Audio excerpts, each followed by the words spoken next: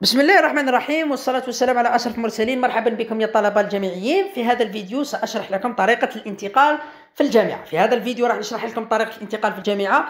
هكذا باش تديو عليها نظرة وإن شاء الله في الفيديوهات القادمة قبل ما أنكم ديروا les contrôles لأنه les contrôles تاعكم راح تكون في 16 جونفي. يعني إن شاء الله في نوفمبر ديسمبر إن شاء الله نشرح لكم كيفاه تحسبوا المعدل تاعكم. هذه طريقة الانتقال في الجامعة تخص نظام ال LMD نبدأ على بركة الله في الدورة الأولى. هو أنه طالب نفترض تحصل على 10.65 وتحصل على 10.90 أنه المعدل تاعو يخرج له كي نحكموا الأولى والثانية ونقسموها على اثنين ال série الأولى وال série الثانية لازم نلقاو 10 إذا ما لقيناش 10 معناتها راح تدخل للاستدراك. اتفقنا؟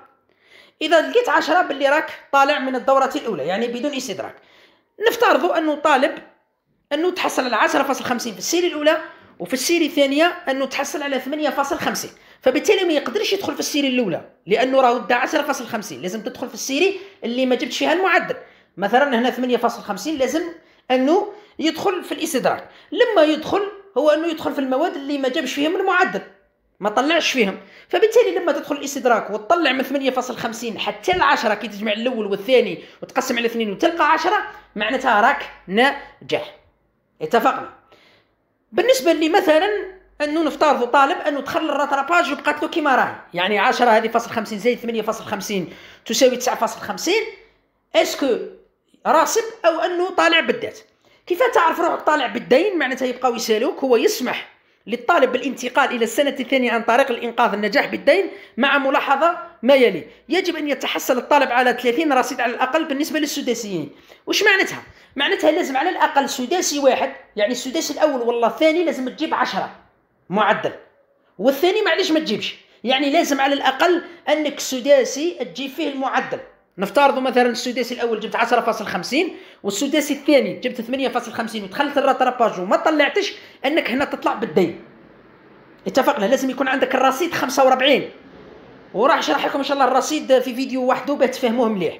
اتفقنا؟ لأنه الرصيد راه يخص كل مادة فقط هذا ما كان. المادة اللي تجي فيها المعدل أنه تضيف لها الرصيد وكل مادة عندها رصيدها. المادة اللي ما تجيبش فيها المعدل معناتها إنك تنقص الرصيد تاعها فقط هذا ما كان فبالتالي نفترضوا أنه 8.50 بقات كيما راهي هنا تطلع بالدين. لماذا؟ لأنه السداسي الأول ما تحصل على 30 رصيد لأنه اللي يجيب 10 عنده 30 رصيد. هنا 8.50 يكون الرصيد تاعك أقل من 30 تلقاه 18 ولا 16 فبالتالي هنا تطلع بال dettes. يعني إنه العام الجاي إن شاء الله تعقب les contrôles مع السنة الأولى مثلا انت السنة الأولى راح تنتقل للسنة الثانية أنت تقرأ السنة الثانية عادي ولكن كي يوصل les contrôles أنك تروح تقلب الدين تاعك تحب تقلبه في في السنة هذيك؟ ولا تخلي حتى السنة الثالثة l'essentiel قبل التخرج. ويفضل أنك اللي يطلع بال dettes أنه يقلب الدين تاعو مباشرة كي يطلع السنة الثانية أنه لما تجي لي كنترول أنه يروح يقلب الدين تاعو في السنة الأولى. بالنسبة للراسب هو أنه مثلا أنت متحصل على 9.50 9.50 ودخلت الاستدراك وانك ما طلعتش تبقى كيما راهي 9.5 9.50 هنا راك راسب اتفقنا.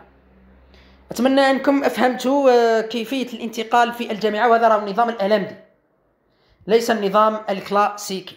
أتمنى أنكم أفهمتوا واللي ما فهمش يقول لي فقط وبالتوفيق.